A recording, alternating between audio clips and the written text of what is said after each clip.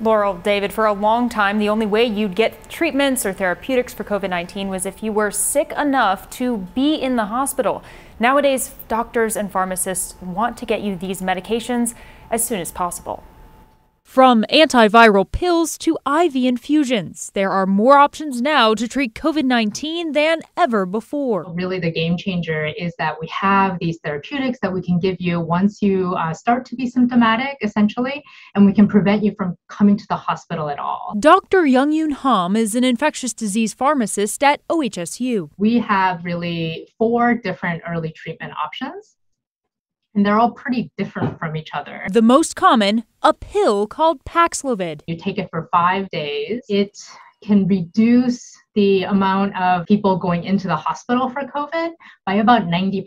Those unable to take Paxlovid because of kidney or liver issues have other options. They're given via IV on site at OHSU.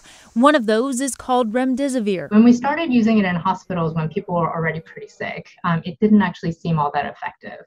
But we do have a study out for remdesivir where we start giving it to people at the point of mild disease and there, it's actually very effective. It's like just as effective as Paxlovid. There's also a second pill from Merck. Those studies show its efficacy is lower than the three other treatments. It's a five day course. You take it twice a day. Dr. Ham says these treatments are all available in our region, and chances are you might qualify for at least one.